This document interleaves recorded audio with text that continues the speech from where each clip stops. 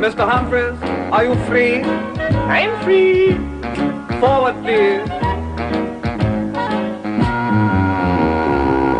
Mind the door. What? Are you being served, sir? I'm Humphries, and I'm free. Are you being served, sir? What would you like to see? If you'd like some swimming trunks, we've got them plain or spotty. We've also got some see-through that really tan your... Beachwear. Oh, these are gay. There's plenty round the back. And if you'd like a bit of flash, then try a plastic Mac. What? Are you being so sad? I'm Humphries, and I'm free. Are you being served, sir? What would you like to see? Excuse me. Make the inside leg 30. now, what colour of tie did you have in mind? But you only bought this wedding gown two days ago. Is there something wrong with it? Well, he told me. Oh, the rotten swine. Were you already at the altar? Yes. Oh. Well, as much as I sympathise with you, I'm afraid we couldn't possibly give you a refund for Miss Nichols. Not unless you say so, Mrs. Crawford. But we can give you a credit note, and then if he changes his mind or you get lucky somewhere else, you can come in again. Don't give her the money. I'd have to give my, my commission back. You've got to learn to be hard. but I also had this, which was a special nightie for my honeymoon. Oh, it was a special nightie for a honeymoon. You sold her that. Well, I'll give her a refund. There. Oh, and this too. Uh, I was going to take it on my honeymoon. She was going to take it on a honeymoon. Well, here's your credit note, and here's your refund. And honeymoon books are on the ground floor. Good day, madam. Well, she certainly saw you coming. What do you mean? Anyone who takes war and peace on their honeymoon doesn't want a special nightie. Thank you, sir, for your custom. There's the tie to go with the walking stick. I hope you're taking notes, Mr. Randall. Mr. Humphries certainly has a way of persuading people to buy. I am Mr. Mankiewicz. Mark you, I, I wouldn't have bought that tie in a month of Sundays. No, not stripes, not for you, Mr. Mankiewicz, but what about a nice polka dot bow tie? A polka dot bow for me. Oh, look at that. The years simply fall away. You see, Mr. Randall, he's trying his sales technique on me, but I'm too experienced to fall for it. Well, please yourself. It's the last one. And if you don't want to look distinguished for $10.50... Ten dollars fifty. Those are six dollars. It couldn't possibly be. There must have been a mistake. I mean, look at the hand stitching. I might have this myself. I was in the middle of making up my mind, Mr. Humphries. I'm sorry, but I'm having this. Sale, Mr. Randall. Well done, Mr. Humphries. Do I get half the commission for selling of that last time? Why should you? Because there is a whole drawer full down there. Hmm, You'll go a long way, Mr. Randall. And you can start by hiding this lot round the back there. Your receipt, Mr. Mankiewicz? You sure this suits me? Well, not with that shirt. Now, I've got a very nice silk pocket. Don't even talk to me. I'm trying to save enough money to buy a biscuit with me coffee. Mr. Humphries, Mr. Mankiewicz, you free? I'm free, Captain Wagstaff. Mr. Mankiewicz. Mr. Mankiewicz. You deliberately tried to ignore me, Mr. Mankiewicz. Oh, I'm sorry, Captain Wagstaff, but every time Mr. Humphries speaks to me, it costs me money. I'm afraid we could be about to lose, Mr. Humphries. Mr. Crabtree here of personnel has some very serious news. Well, it seems that due to an oversight in my department, the application that Mr. Bone signed for your work permit wasn't sent. The immigration people are looking for you, and they've got wind that you're here. I knew that aftershave was a mistake. well, does that mean I'm going to be deported? Well, it seems that you've been working here illegally. And the penalty for us all will be very severe if they find you. Well, where's the form? Oh, we're looking for it, but we've got papers up to the ceiling. It, it could be anywhere. But the point is, Bone Brothers is going to be in very serious trouble if you're found behind this counter. Well, couldn't we get another form? That would mean telling Mr. Bone. We'll have to find the one we've got. Yes, and it appears that someone from the immigration department is coming here to check on you, so you'll have to hide. We shall, of course, deny all knowledge of Mr. Humphries. Who's Mr. Humphries? Humphries. Now, isn't he one that they chucked in that boat, made him row back to England in chains?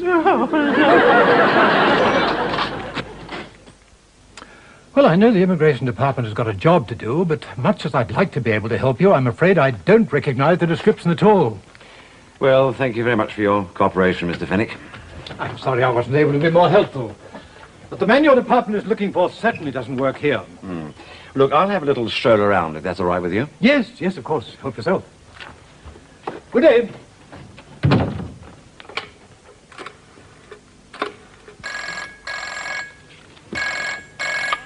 Mainswear? Uh, it's for you, Captain Wagstaff. Wagstaff here. What? The man from the immigration department is coming down onto the floor. Yes, well, don't worry, Mr. Fennick. Mr. Cocker of Packing has taken care of the matter. The man you know as Mr. Humphries no longer looks like the man you know as Mr. Humphries.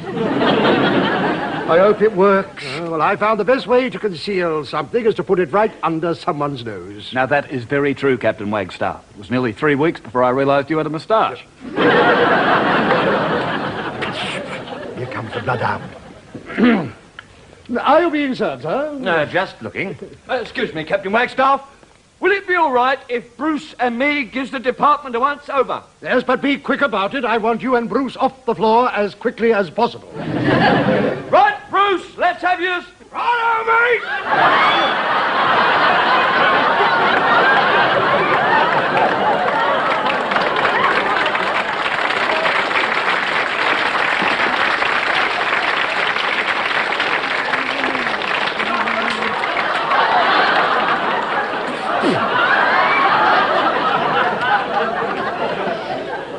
Hey, cobber, there's your sweeper. Mark it. Thanks, Bruce. Welcome.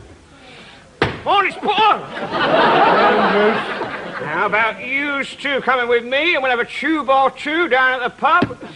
And then I'll give you a bang on my wobble board. Oh, why, that pub's far too tough for us, Bruce. Much too tough, oh. Bruce. Oh, she'll be right. You'll be with me. I'll tell you something.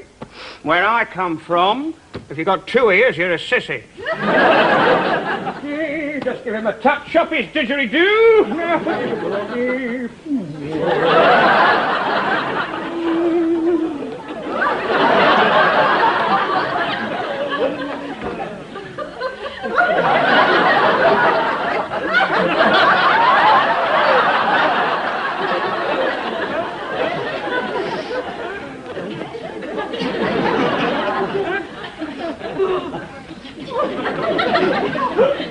you. Oh, me? Yes, you.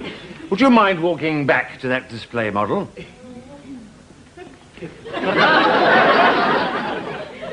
and uh, back to the basket again. I have reason to believe that you are a Mr. Wilberforce Claiborne Humphries. Oh, surely not. This man doesn't answer the description you gave us at all. No, sir, but his walk does. I want you. They all say that. You'll have to catch me first.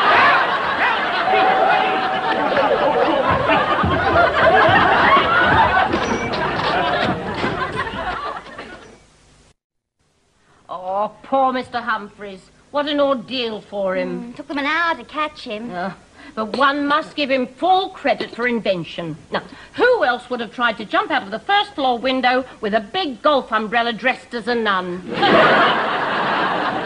He should have known they don't wear lipstick. They've been interrogating him for two hours now. Poor man. Here he comes. Oh, come and sit down and tell us what happened. Oh, what an ordeal. You wouldn't believe the questions they asked. Well, I hope you didn't say that we were party to the deception. No, you're all right. I said it was all my fault. Good on you, mate. I put a plate over your dinner to keep it hot. Oh, thank you. It's probably the last dinner I'll forget. What, what, what are they going to do? They've given me 48 hours to get out of the country. Oh, oh no. Oh, dear. We will miss you. Oh, we'll all miss you. Oh, oh. don't, please. You set me off.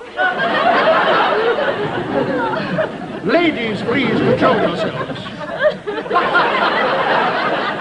What's going on here? I suppose the food's off again. Oh, it's Mr. Humphries. He has to leave the country because the immigration say so. Mr. Humphries? Oh, oh, no. Oh, yeah. Oh, no. Oh, no. Oh,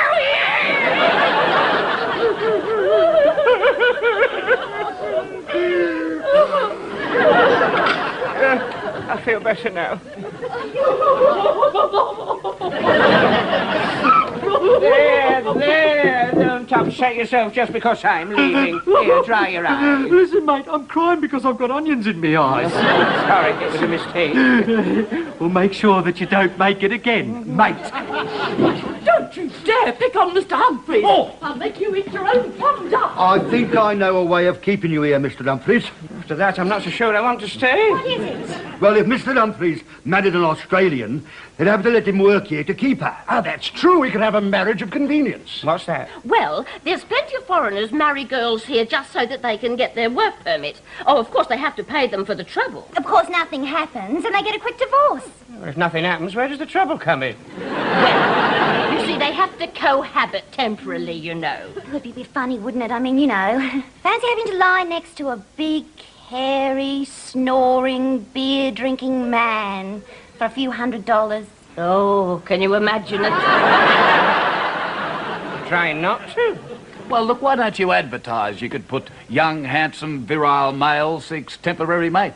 I'm sure Mr. Humphries doesn't want to contravene the Trades Description Act. Leave out handsome. He hasn't got time to put an advert in. I mean, by the time it came out, he'd be off. Well, look, you're always claiming to be hard up, Miss Nichols. Now's your chance to make some money. I'm not that hard up. Oh, I mean, I'd do it for nothing. You mean you do nothing for nothing? I mean, I would marry Mr. Humphries tomorrow, except uh, I've got a very jealous boyfriend and he just wouldn't understand. Not even if he met Mr. Humphries. He'd probably understand even less. I think we're all agreed that we've all become very fond of Mr. Humphries, and we'll all be very sorry to see the back of him. I'll second that. So I'm prepared to go through with it, and I don't expect any remuneration. I'm just doing it as a favour. Oh, I couldn't let you do that. Oh, well, it's only temporary, and I've got a nice big double bed, and we could put a bolster down the middle. That's a very kind offer, Mrs. Crawford. Oh, well, it's the least I could do. As long as you don't mind my pussy jumping about during the night. You, you see, she sleeps on the bed, and she's always dreaming about mice. well, it won't be for very long, will it? Oh, no. a few months and you'll get your work permit. Then we can get divorced. Oh, well, I suppose so. Oh, but mind you, you know, you might find that the lifestyle uh, agrees with you. Mrs. Crawford, I've been a confirmed bachelor for a long time. oh, come on, one can always change. I'm more confirmed than you think. Well, it's either marry Mrs. Crawford or be deported. Well, I know which I'd prefer. Mrs. Crawford, I accept your generous offer. Oh, congratulations. Can I be bridesmaid? of course. When's it going to be? Well, we'll get a special permit and then we can have it as soon as possible. Uh, so I'd better go and get a ring. Ah, in fact, I'd better get two rings, wedding and engagement, and then we can announce them both at the same time. Don't you think that jumping into this so quickly might make the rest of the staff think that you're, uh, uh, How dare you! How dare you? I don't think that thought will cross anyone's mind. Thank you, Captain Wagstaff. Certainly not anyone who knows Mr. Humphries. I shall have to get a bridal gown from stock. What about the one that got returned, that you give the credit note for? Had a lovely train. What a good idea. I did like that. Excuse me, could we just get married in normal clothes? Oh, she wants to look lovely for you. I can just see it now. A stately figure walking down the aisle, all white and virginal. Who's that, her or me? It's me. And then the vicar joins us together. Uh, but before he does that, he asks, is there any impediment or reason why these two should not be joined together? Mm, that's when you all keep your mouth shut. It's only 1.48. Where are you going, Mrs. Crawford? To choose the ring. I'll help. They got some lovely big ones in last week. Oh, have I got to pay for it? Well, they don't rent them. Don't worry, we'll get a discount. and if you ever get a divorce, you could get a credit note. What do you mean? If I ever get a divorce. Well, you saw the look in her eye. Once she gets her hands into you, that'll be it. If she gets you down that aisle, it will be all over bar the shouting. I've gone off the whole idea. I think it's a bit late for that now. I think I'll just accept my fate and go home. That sort of woman would sue for a breach of promise. Well, what am I going to do? What am I going to do? Well, I'd like to help you, Mr. Humphries, and I think I can. So if you'll just sign at the bottom there. I'll sign anything if it'll help. Thank you. and there's your receipt. What's that for? One morning suit, 38 regular. One grey top hat, size 7.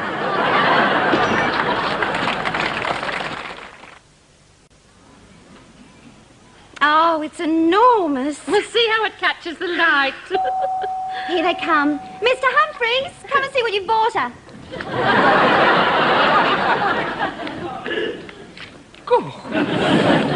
I can't afford that. oh, it isn't actually real. It's imitation by Le Roc of Paris. But you could never tell unless you was an expert. It's a bit big, isn't it? Yeah, well, she's got big mitts. I don't want to be rude, but how much was it? Here's the bill. Are you sure it's not real? Glass of water for Mr. Humphries. He's a jolly good fellow, for he's a jolly good fellow, for he's a jolly good fellow. And so say all of us. Hip hip, hooray! Hip hip, hooray! Hip hip, hooray! Thank you all for gathering here. Now, I should like to propose a toast. But before I do, may I say how very glad I am that Mr. Humphries is going to be able to stay on here with us as soon as he's married. And uh, Mr. Bone, who uh, incidentally doesn't know the real reason, due to the fact that uh, someone's head would roll if he knew that someone had lost the application form and not told him. Yeah, namely yours. Mr. Bone, as I was saying, has agreed to allow the wedding ceremony to take place in the boardroom. What an honor. Indeed it is. Normally only Mr. Bone gets married in there. But of course, this wedding we're going to have a real vicar. And Mr. Bone has also consented to the use of a record player and an amplifier for a recording of the wedding march or whatever other music the couple may require. How about the theme from The Great Escape? No, I don't think they'll have that. In that case, I'll settle for Who's Sorry Now. Ah, Mr. Bone, just in time for a drink. The nurse will, but I'm late for my disco lesson. I just popped in to wish Mr. Humphries good luck. Thank you, sir. Remember, marriage is a sacred union between two people. It requires honesty, loyalty, and the greatest respect for one's partner. Yes, sir. Well, that's all. Thank you, sir. Oh, and Mr. Humphrey, Yes, sir. you'll be all right tonight. I don't think I want to drink now. Well, look at him, and he's not even married. Uh, he is a gay bachelor. Oh, stop trying to cheer me up. And now a toast. The lucky groom. The lucky groom. Just think there you'll be tonight in the lap of luxury in your honeymoon suite, just you, your new bride, and your king-size bed. I can't go through with it. It's too late now. Yes? Oh, good. And Mrs. Crawford is going to join us. Yes, it is too late. Well, look, why don't you make her jealous, and then she might call the whole thing off? You think that would work? Well, uh, it's worth a try. She's got a very jealous nature. Look, she'll be here in a second. Now, why don't you pop over there and give that nurse a great big smacker on the chops? I couldn't do that. What have you got to lose? You're right. It's an emergency.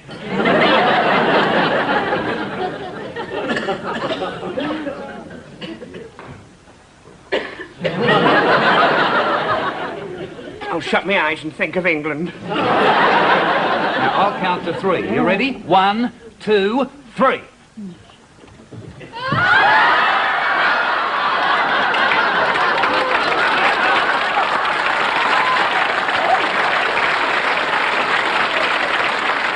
That was very naughty, Wilberforce. You're not supposed to do that until later, but I'll forgive you.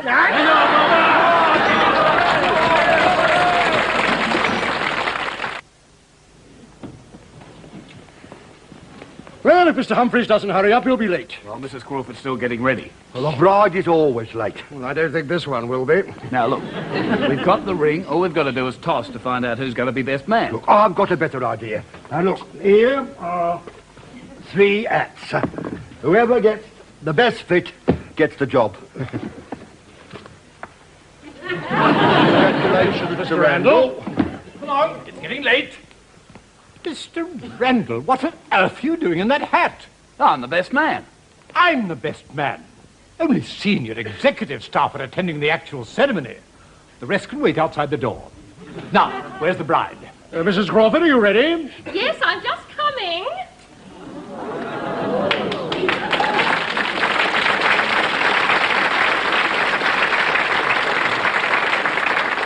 Come along, Mr. Humphries. It's almost time.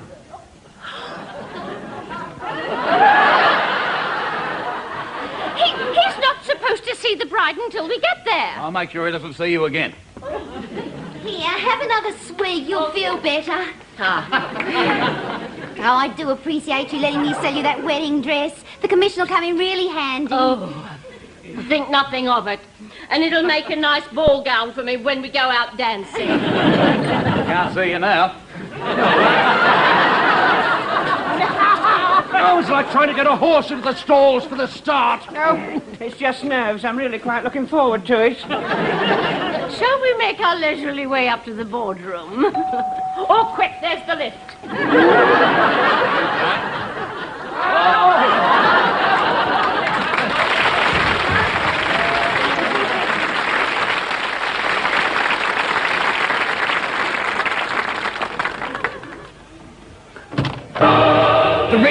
where's the ring? Here it is. Here it is. Oh, dear, I do hope it's the right size. Of course it is. Mr. Humphries got it from curtain fittings, and he got an extra big one. How's it going in there? Just on the last lap. I must say they both look quite radiant.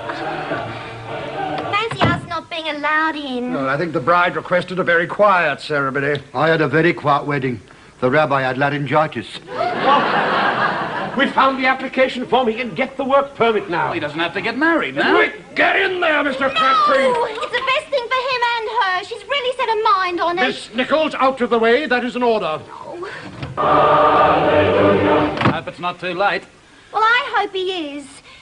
She's even bought a special nightie and everything. Well, are you married?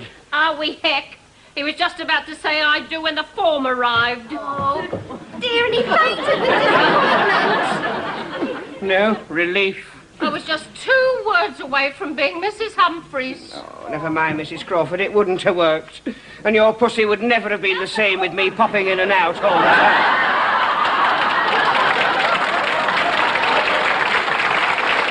Just tell me, Mr. Humphries, how do you feel after your narrow escape? After my escape, I can sum it up in two words. What are they? I'm free!